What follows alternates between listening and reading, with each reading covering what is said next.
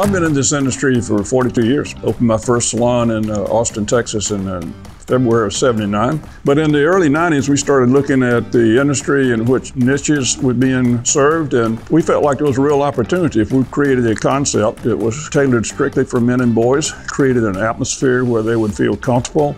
So that's how we started down that path. Sport Clips is in a great position in the industry because we're in the value segment. We're convenient, we're reasonably priced, and we offer much more than just a haircut. We're experiential. Experiential retail has become a more popular term lately, but we believe that trend has been occurring for 30 years, which is why we designed Sport Clips the way it is. A lot of that has to do with the environment in store that's comfortable for guys. A lot of that has to do with our signature MVP service with a hot towel on your face, neck and shoulder massage. But those are all just tactical things. That culture really permeates into those four walls. And when a client walks through that door, that stylist is the brand to that client.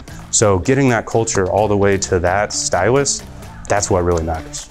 The great thing about the Sport Clips model is that we have great training programs that support the needs of the stylists and, and the team members in the store. And we really help to carry that for the team leader. Where the team leader comes into play is really the recognition and the culture that has to be built in the store and really cultivating that with the manager. We think we have a great model built around making that job easier for the team leader and that they focus on their people and we'll help them and focus on the training and, and really elevate the skill set of each of their team members in the store. Now is a wonderful time to invest in Sport Clips. We can't be Amazoned out. We're unstoppable even through a pandemic. We've got unstoppable culture.